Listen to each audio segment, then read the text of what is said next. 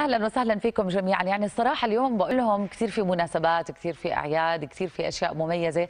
أول يوم ربيع ذكرى معركة الكرامة عيد الأم وأيضا كمان آه، بدنا نحكي عن يوم مهم جدا وهو يوم الشعر العالمي. بهذه المناسبة يشرفنا استضافة معالي وزير الثقافة الأسبق معالي جري السماوي. أهلا وسهلا فيك. صباح الخير أهلا. شرفتنا ونورتنا. الله يسلمك. يعني يوم كل عام وأنتم بخير. وأنت بألف خير يا رب. يوم الشعر العالمي. يعني هذا اليوم اللي أنا بالنسبة لي من الأشخاص اللي أستمتع لما أسمع ناس بيحكوا شعر أو بيقرأوا شعر. آه، آه، أصبحنا نسمع بعض الأشخاص بغنوا هذا الشعر أصبحت أغاني إحنا بنرددها كل يوم. فأهمية وجود يوم للشعر ليش خصصنا يوم آه، لهذا اليوم؟ أول شيء صباح الخير وكل عام وأنتم بخير. بمناسبة عيد الأم وعيد معركة الكرامة ذكرى معركة الكرامة المجيدة.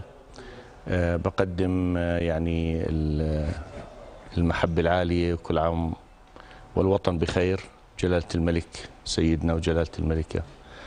آه، صحيح هذا يوم الشعر العالمي من سنة 1999 أعلنت اليونسكو والمنظمة العالمية للثقافة والعلوم بتخصيص يوم للشعر كان الهدف بما بحسب ما بتقول ال- الإعلان بيقول الإعلان عن ذلك لإعادة الاعتبار للثقافة المحلية وللشعر وللغات أيضا.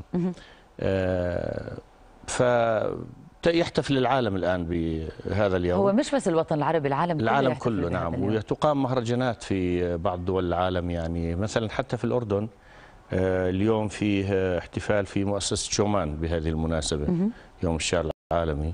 جايين شعراء بعضهم من برا وشعراء محليين. آه، لكن الشعر عموما هو موجود في الحياة. ال- كنت تقولي عن غناء الشعر. آه، نعم. يعني الشعر أصلا آه. كان يغنى. يعني هوميروس آه، شاعر الإغريق العظيم كان يغني قصائده يلحنها ويغنيها يعني الشعر من أيام الإغريق عم نحكي ومن أيام لا هو الشعر آه، وجد مع الإنسان مع يعني الإنسان. الإنسان بدأ يتهجى يعبر عن نفسه بالرسوم على الجدران صحيح. الكهوف بالرقص هذه أول وسائل تعبير ثم بالكلام السجع بسموه سجع الكهان الذي ارتبط بالعبادة والطقوس الدينية حتى عند العرب قبل آه، نضوج الشعر العربي بدأ بسجع الكهان الدعوات إلى ال- القوة الخالقة التي كانوا يعتقدون بها آنذاك قبل التوحيد وقبل قدوم الديانات السماوية وكانوا يتهجؤون كلامهم أمام هذه القوة فبدأ الشعر.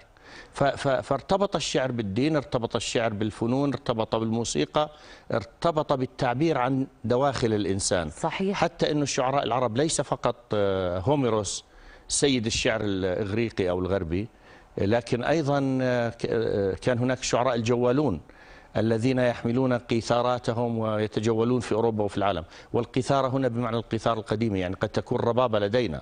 عندنا إحنا. الربابة الرعوية. يعني إحنا وصرنا نشوف أكثر من نوع شعر مثلا في آه، قواعد للشعر في قوانين للشعر وفي أيضا الشعر أو النثر الحر اللي بتلاقي الناس اللي بس بتكتبوا فيه نوع من ال- القافية وفي بعضها ما فيه قافية يعني صارت هي عبارة عن تعبير للشخص هو هذا. الك... هو هذا المهم إنه هذه أداة تعبيرية عن داخل الإنسان صحيح. هلأ الشكل قد يكون بالوزن العمودي قد يكون بشعر التفعيله كما يكتب كثير من الشعراء وقد يكون بال- بالنص ال- الحر. صح. لكن في النهاية ما هو الشعر؟ يعني الشعر ليس فقط آه، طبعا في تع- تعريفات كثيرة للشعر. أحدهم بيقول اللعب بالكلمات. وبعدين مثلا ال- الشعر هو الكلام الموزون المقفى كما قالت العرب.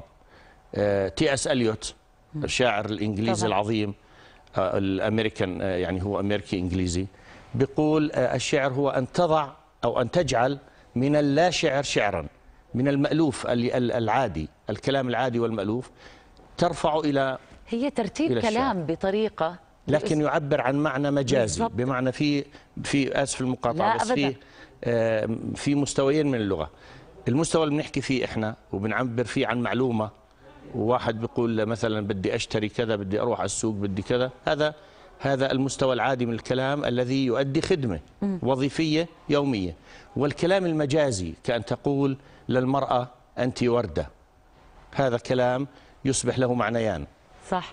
لا ويعني إحنا مثلا آه، آه، أنا بالنسبة لي أشعر إنه الشعر يمكن من أرقى أنواع الفنون والثقافة. يعني إحنا عم نقول الشعب يرتقي بالشعر. وإنت لما تجلس مع شخص شاعر أو تسمع كلمات الشعر بتدخل لقلبك. يعني أنا آه، آه، في مرة من الأيام استضفت شاعر معي على على الهواء وبكيت. يعني يعني فعلا بكيت لأنه بتحس لا، هو إنه لأنه- بيلمس عندك شيء صحيح. مميز جدا. ملامسة المشاعر والأحاسيس والداخل. هو ملامسة الداخل. صحيح. على آه، هيجل الفيلسوف ال- المعروف يقول أن أعلى إنتاج عقلي صنعه الإنسان هو الشعر.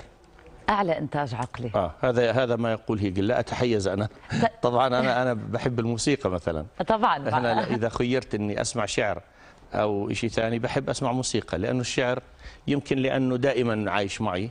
صحيح. لكن بحب لا الموسيقى. وأنا يعني مثلا الفنان كاظم الساهر يعني إحنا نزار القباني آه، الشعر صرنا نعرف شعر نزار القباني من الأسلوب اللي تغنى لكاظم الساهر. لكن يقال أحيانا إنه بعض الأشخاص اللي فعلا بيقرأوا الشعر بقول لك لا أنا ما بحبه مغنى بحب اقراه قراءة لأنه أنت هيك عم بتقيدني. زي الكتاب مثلا إذا شفته أنت صار على آه، فيلم في بعض الأشخاص مثلا ما بحبوا بقول لك لا أنا تصورته بأسلوبي أو بطريقتي.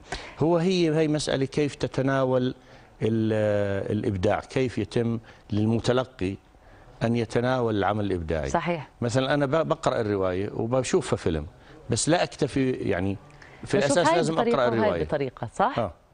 يعني آه. أنت بتطلع عليهم بطريقتين لأنه مختلفين. فنين مختلفين فعلا يعني الرواية عندما تقرأيها بتبني في المخيلة عوالم كل آه، متلقي يراها بحسب شخصيته بحسب مظبوط. استيعابه بينما الفيلم بيعطيك الصورة جاهزة صحيح. لا يدع مجال للتخيل.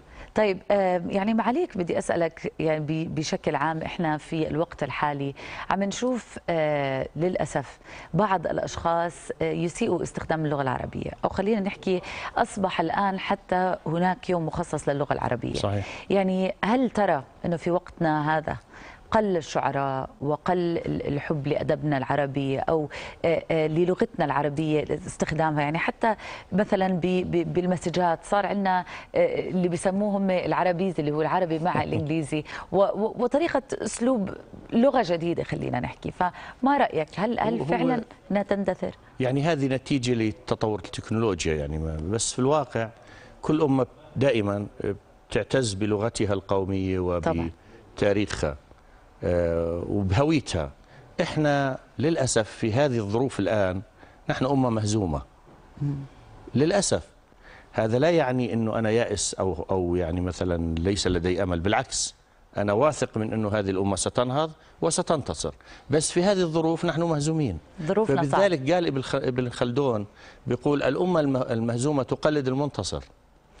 آه فإحنا انجرفنا وراء لكن فيما يتعلق باللغة العربية اللغة العربية لغة عظيمة. فعلا. آه، لا- لا- مش تحيزا أو يعني شوفينية قومية لا. لكن اللغة العربية عمرها تقريبا أكثر من 2000 سنة بهذا النضج اللي إحنا عليه. يعني المعلقات المعلقات التي كانت تعلق على جدران الكعبة المكرمة آه، كانت آه، آه، شعر ناضج نفهمه نحن أبناء القرن الحادي والعشرين الآن نقرأ المعلقات نفهمها. صح. هذا كان حوالي 150 ل 200 سنة قبل الإسلام. إحنا بنحكي عن 2000 سنة. بينما اللغة الإنجليزية عمرها فقط من 1600 بالنضج هذا. آه. 1600 1618 مات آه، شكسبير. وحتى يعني الشكسبير- شكسبير كانت اللغة الم... يعني المتأخرة اللي بدأنا نفهمها لكن حتى صعبة على اللغة ما هذا اللي بدي أحكي لك إياه حتى الشكسبير يعني بده يعني في حدا الأدب دارس الإنجليزي ستي في الأدب الإنجليزي يدرسون النص الأول في اللغة الإنجليزية كانوا يدرسون إياه ويعطونا ترجمته إلى الإنجليزية الحديثة. آه لأنه صعب جدا. فاللغة العربية عريقة جدا لكن المشكلة في ط- طريقة تدريسها. عندما وضع النحاة وعلماء اللغة قواعد اللغة العربية وضعوه بحسب المنطق الإغريقي اللوجيك يعني زي الرياضيات. ف- فقواعد اللغة العربية بسيطة جدا. راح إحنا بنتعلمها بشكل صعب لكن هي بسيطة. هي باختصار المرفوعات والمنصوبات. المرفوعات هي التي تقوم بالفعل. والمنصوبات هي التي يقع عليها الفعل. ما أحلى أحكي لك شيء معاليك يعني أنت على فكرة ساعدتني جدا لأنه أنا دائما عندي ضعف بالرياضيات والقواعد. فهلا عرفت ليش بما إنك قلت لي الرياضيات أيضا. اللغة العربية والموسيقى فيهم كثير رياضيات. والموسيقى؟ الموسيقى طبعا. أنا أعشق الموسيقى فبلاش ندخل فيها بالتفاصيل. عموما معالي جري السماوي وزير الثقافة الأسبق. شكرا جزيلا لوجودك معنا. ويعني سعيدين جدا بأول يوم من أيام الربيع أنك تكون منورنا كل عام وأنتم بخير كل عام وكل الأمهات بخير. أدعو الأبناء لتكريم أمهاتهم بالمحبة وبالفتاة الصغيرة أكثر من الهدايا. إن شاء الله. وكمان يعني معركة الكرامة هذه التي هي رمزيتها أنها أعادت إلى أرواحنا الوهج صح. والثقة بأن هذه الأمة باقية وستنتصر وستبقى وستظل. باقية. وما زلنا بلد الأمن الله. والأمان بعد 50 إن سنة من ذكرى معركة جلالة. الملك. آمين يا رب. عموما فاصل قصير ونواصل بقية فقراتنا. أبقوا معنا.